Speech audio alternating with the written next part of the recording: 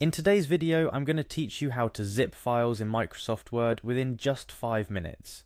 Whether you're aiming to save space on your hard disk, wanting to make your files more manageable for email attachments, or simply looking to keep your documents neatly organized, zipping files is a handy skill that everyone should know.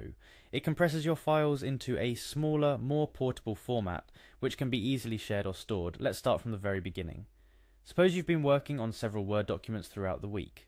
These documents are crucial for your next project presentation, and you've decided it would be best to compress them into a single, more manageable zip file. How do you proceed?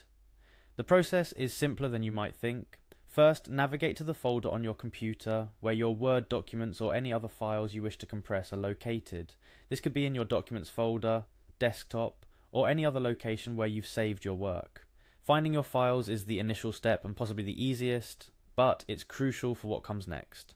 Once you've located the folder containing your files, the next step is to uh, select them. If you're zipping multiple files, you can select them individually by holding down the Control key on your keyboard and clicking each file you want to include in your zip file. If you intend to zip all the files within a folder, a quicker way is to press Control plus A, which selects everything in the folder. If you're a Mac user, you would use the Command key instead of Control. This step is all about choice and ensuring you've got exactly what you need before moving forward. After selecting your files, the next step involves creating the actual compressed, zipped folder. This is where the magic happens. To do this, you'll need to right click on one of the selected files. This will open a context menu. Within this menu, you'll find several options, but the one you're interested in is Send to.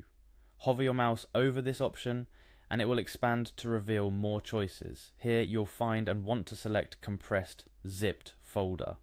Clicking this option prompts your computer to begin compressing the selected files into a new zipped folder right in the same location as the original files.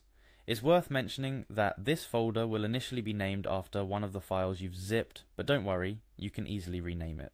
Simply right click the new zipped folder, select rename, and type in whatever name makes sense for you. For example, if you've zipped all the documents related to your project, you might name the folder Project Documents. This helps keep things organized and makes your files easily identifiable. There you have it. Within minutes, you've successfully compressed your Word documents into a zipped folder.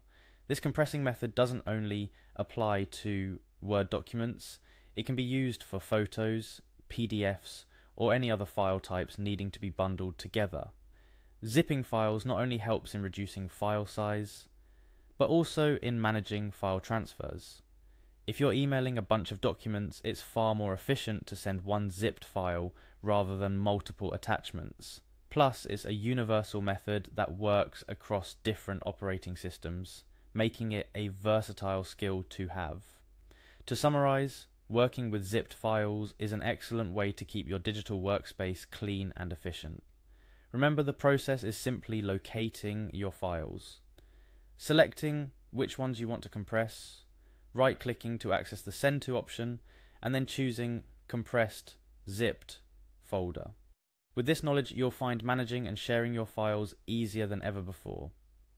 That wraps up our guide on how to zip files in Microsoft Word or frankly any files you need. Hopefully this tutorial has shed some light on the process and you're now more confident in your ability to handle file compression. Thanks for tuning in, and don't forget to like and subscribe for more useful tips and tutorials. Happy zipping!